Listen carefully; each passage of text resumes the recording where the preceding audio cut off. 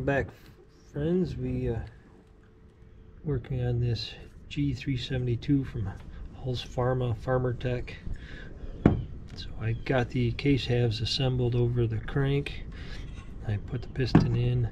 I 3D printed an adapter for the timing wheel. You can see it down in there. Uh, I'll include a link down in the description for the 3D print files so if you want to print your own that should have good instructions on how to do it. Uh, I also have done a little bit of work on the cylinder. You can see I've cut this out kind of cleaned things up. Uh, I didn't do a whole lot of adjusting to the timings. I did lower the intake floor just a touch cleaned up the transfer ports so they all open at the same time. They were horrible. Some of them were high, some of them were low. Uh, I did open up the exhaust outlet to match the same hole size as the plate that goes back in there.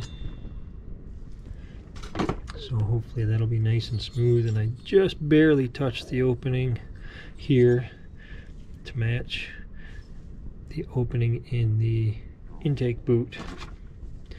So I didn't uh, change the timings too much. So I'll so basically the exhaust opens at 97 degrees after top dead center. Uh, the intake opens at 75 degrees and the transfers are at 125 or so. I tried to push them down just a little bit, so it's probably closer to 123. 122 is kind of a good place to be, but I didn't want to get too aggressive with the porting. The cranks in these are supposedly pretty soft and will stretch easily. But it's definitely not pretty down in there, but being my first time doing anything like this. Matter of fact, I had to buy a Dremel tool or rotary tool to even do it. So I'm pretty impressed with it so far. Here's a, some pictures showing some of the modifications I did kind of before and after. Uh, I didn't video or record the actual process of porting and there's plenty of videos out there to show how to do it properly not the way I did it because uh, honestly I don't know what I'm doing yet. I also uh, put a link in description kind of showing how to set up your degree wheel and you know some techniques for porting there's definitely better videos out there than what I can produce. So check the description and I'll have all that information down there. I'll put a link in the description for a couple different videos on a couple different ways to put the cases together. Uh, some use threaded rod and washers and pull the cranks into the case. I use the uh, heat gun method where just put the crank in a Ziploc bag into some ice water to cool it and then use a heat gun to heat the case and the bearings up and just fell right together. So it worked pretty good. Uh, I'll leave a link in the description to Tin Man's video showing how to heat it, cool it, and just slide it together. I've seen a lot of people recommend cutting a little bit of the tang off from the circlip that holds the piston in uh, you can see here about what I did just cutting off quite a little bit.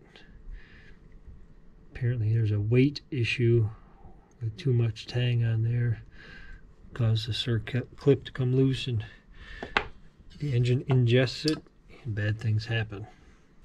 I've got the sealing surface of the case cleaned with acetone. I cleaned the mating surface on the cylinder and I added a little uh, Loctite 518 to help seal it up because I'm not using the base gasket. I have about 28 thousandths of crush without the base gasket, so I figured I would use that. So now I've got everything cleaned up, brake clean. I've got my wrist pin bearing greased up nicely.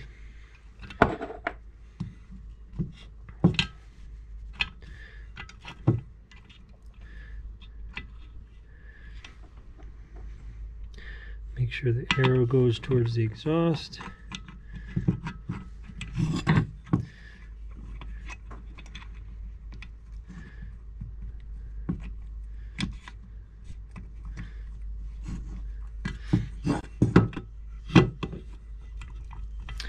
Now comes the fun part, putting in the circlips. I showed earlier that I had modified them a little bit. We'll see how well this works. I've Never done this before, so we're going to find out together.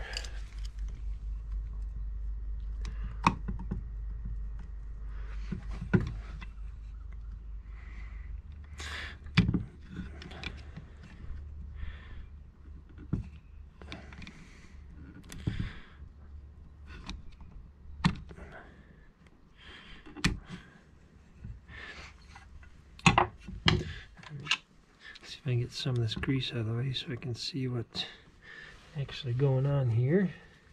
Looks like it's down in the groove properly. I don't know if you'll be able to see. But it looks like it's seated down in there nicely. So let's try the other side. Push the wrist pin down in tight against the other circlip.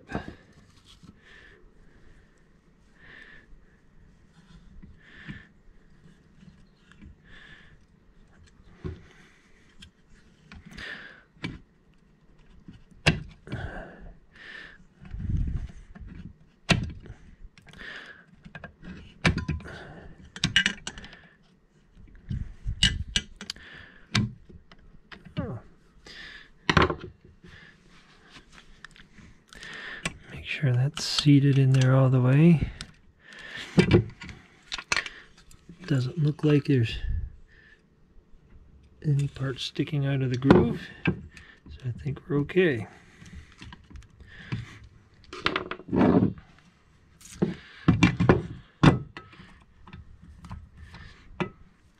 Now our rings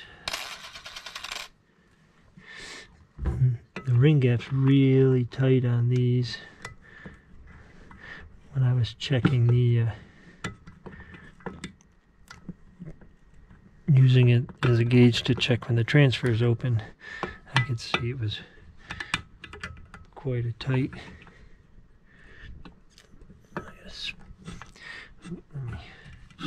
pull it I've got it on the wrong way because there's a pin in that lower groove Actually, there's a pin in both grooves. There we go. And look right there, there is a pin down in there. Once that's squished down, it'll hit. And there's another pin in the upper groove right there. And have to do the same thing.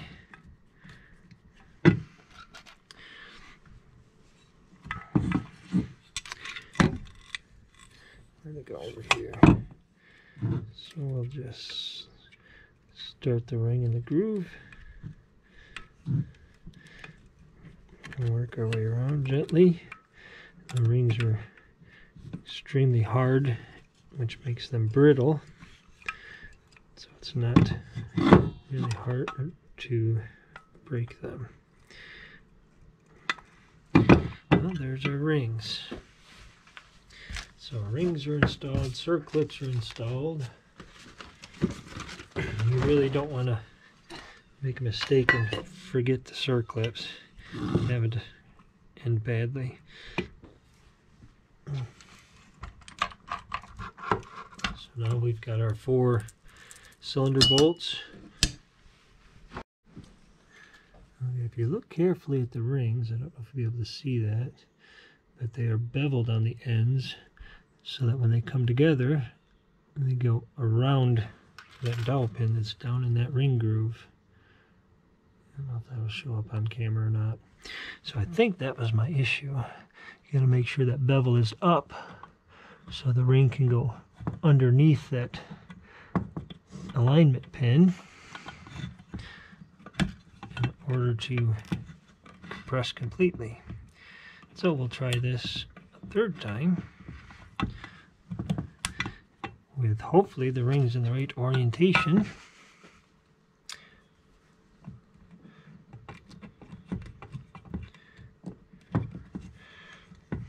It's funny, I watched dozens of videos on putting these saws together and I don't think any of them mention that.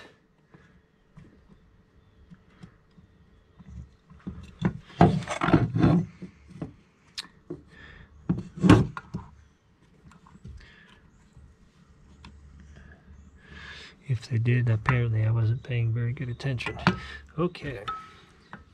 So now, put our spring compressor back on there again. That looks a little better.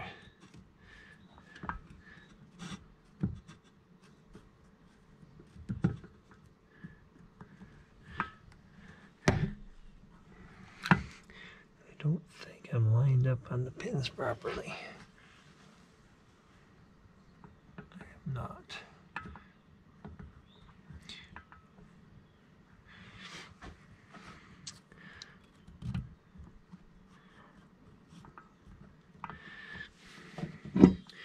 Again, making sure we've got the exhaust port the right, going the right direction.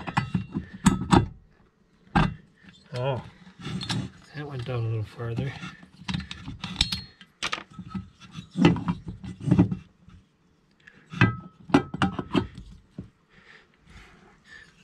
There we go. Now I did put Loctite down in the holes for the cylinder bolts.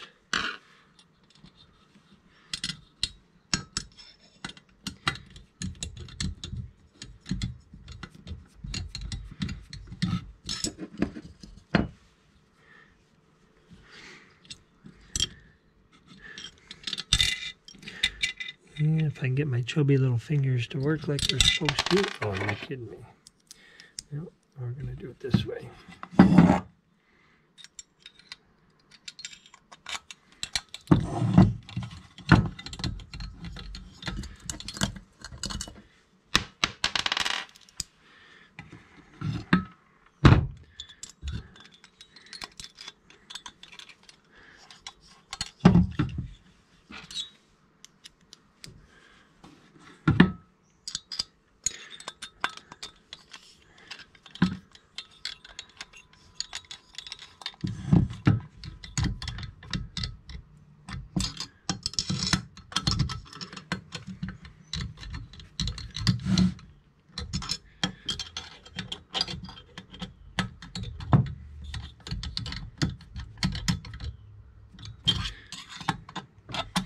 All right, now I'm just going around and just snugging them down just a little bit.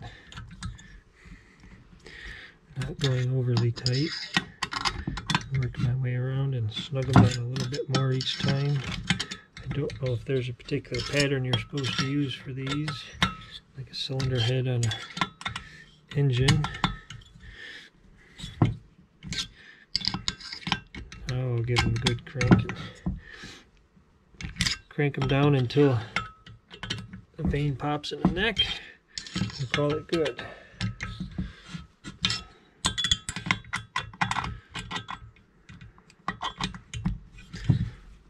Ah, that tight enough. Oh, that doesn't sound very good.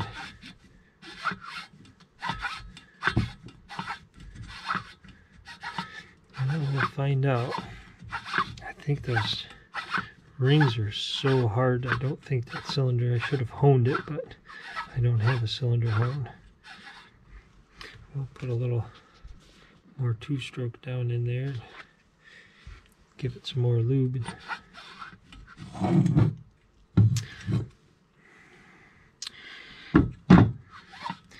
Maybe the rings just need to seat.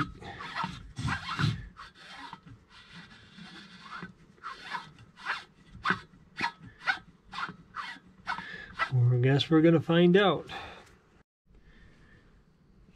Okay, so now we'll put the fuel tank on. See how well this goes.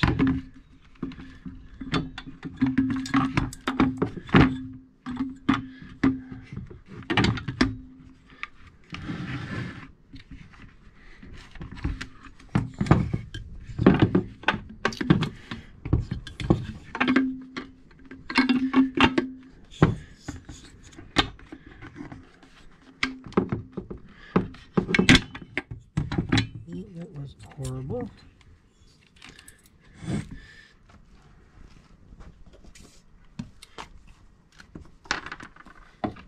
Put a little Loctite on the screws.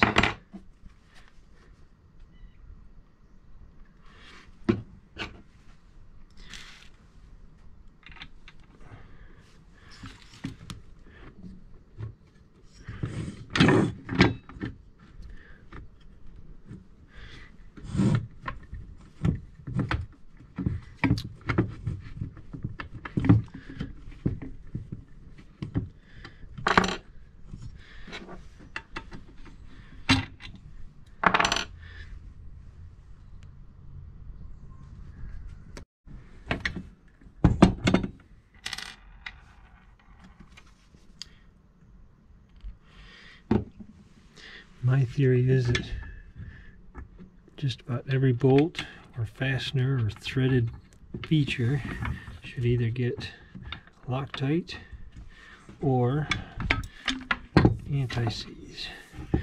These bolts don't seem to want to fit very well.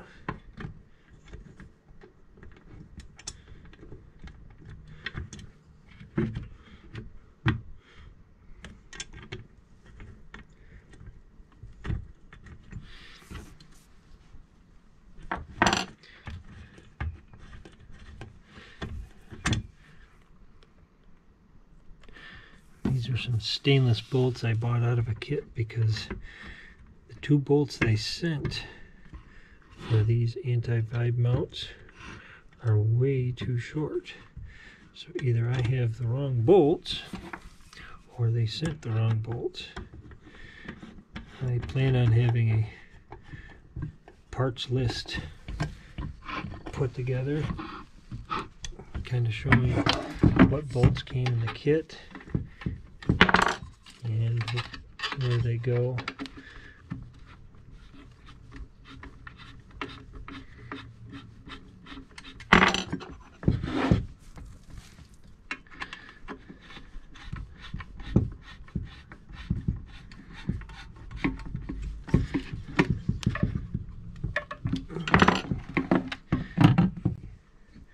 There's one special bolt that goes in here. It's an undercut bolt. Now it's this undercut relieved on the end is just a kind of limiter for the side of the gas tank.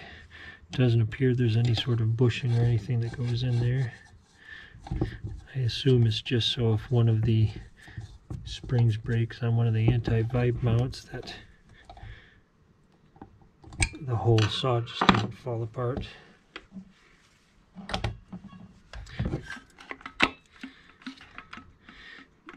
Hopefully that'll tighten up once we get the handle on there. And I think before we put the card plate on, we'll get the flywheel and coil put on.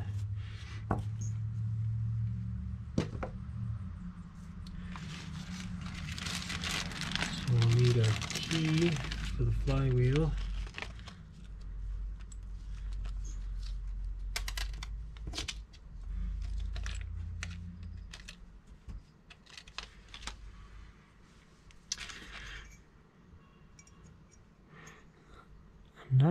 matters which way this key goes in.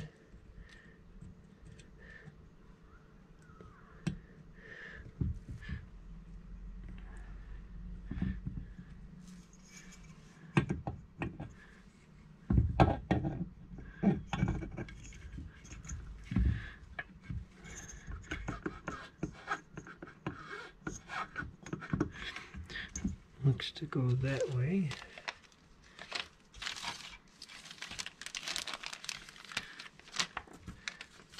Is a lock washer that goes underneath that bolt.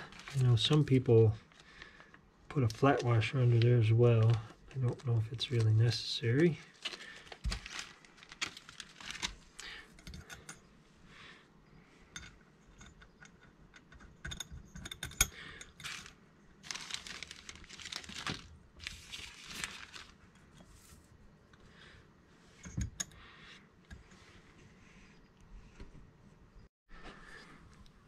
Take our 13 millimeter socket. I'm sure there's a torque spec for this. I'm just going to torque it as tight as I can by hand.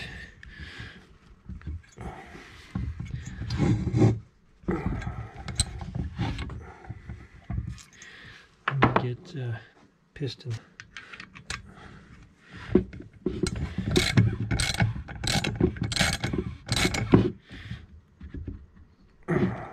I think that'll be torqued enough.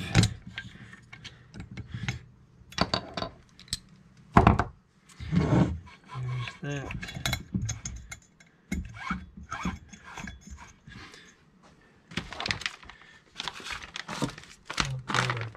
Oil.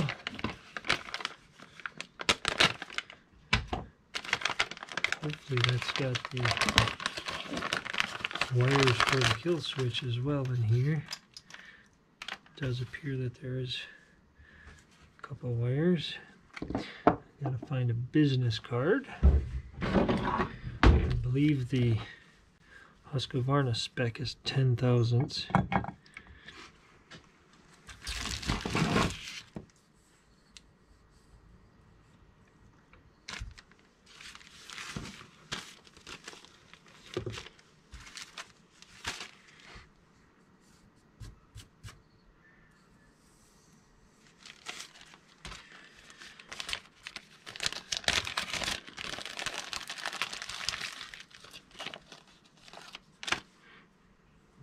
a couple of these long bolts and don't forget the Loctite.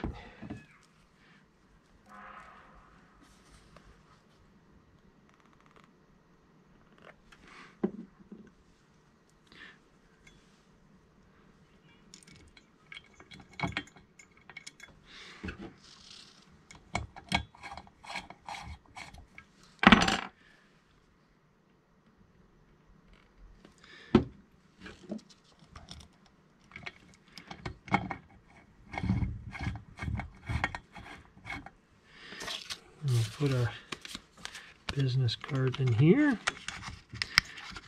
Spin around until the magnet comes up.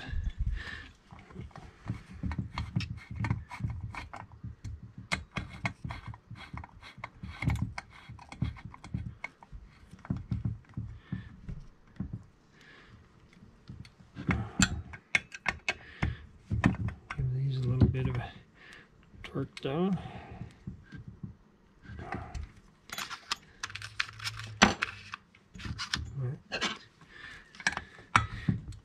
Doesn't feel like that's tight enough. Too much gap in there.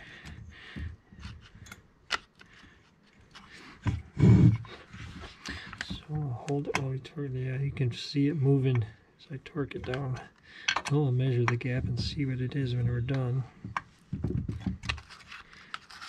That might be way too wide.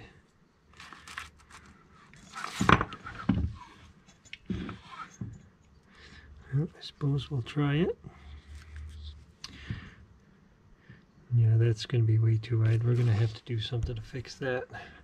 Let me see what I can come up with. So I'll put the little air deflector nozzle on.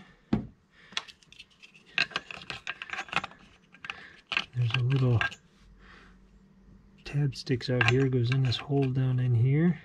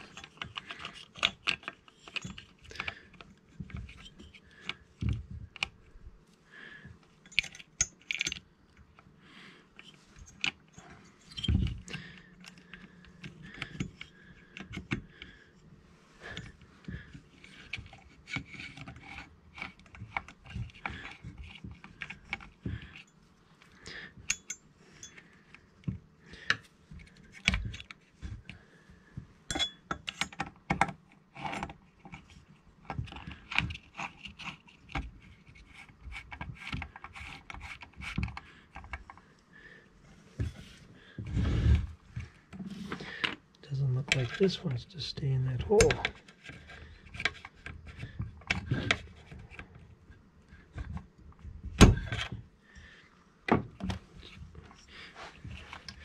I'm not sure it was manufactured correctly.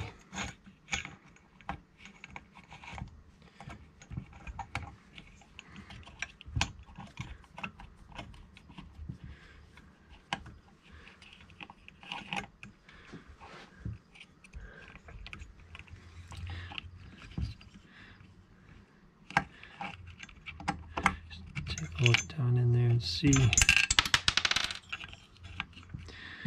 Yeah.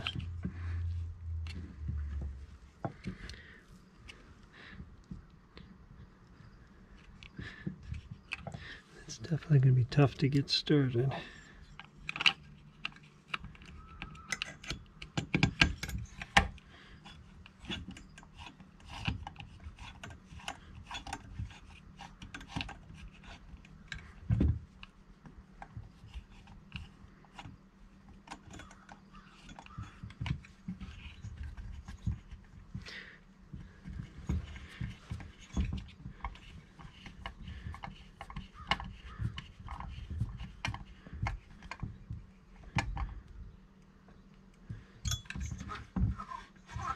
It's not hitting. It looks like it's in the hole. If I'm not mistaken, I think you can leave this out. There's some debate on whether or not it's necessary or fully functional the way it's intended.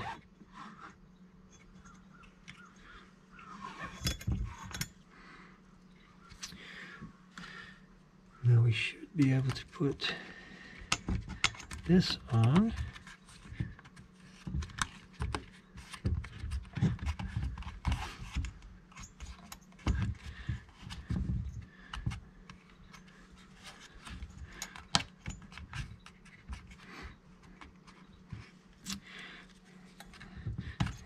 Before we do that, this needs to get stuffed up through. And this can get stuck in there.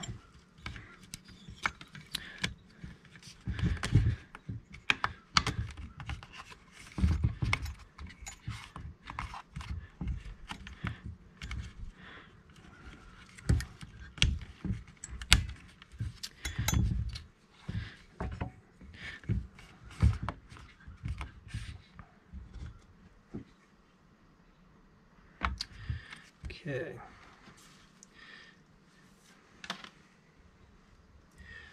Well, I think we're getting pretty long in our video now. I'm going to pause it here and we'll start fresh with a new video.